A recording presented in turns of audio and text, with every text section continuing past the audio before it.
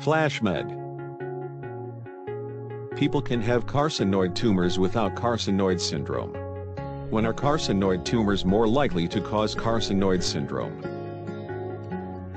People with carcinoid tumors are most likely to have carcinoid syndrome when there is liver metastasis, retroperitoneal disease, and a primary tumor outside the GI tract. FlashMed has thousands of video flashcards on YouTube.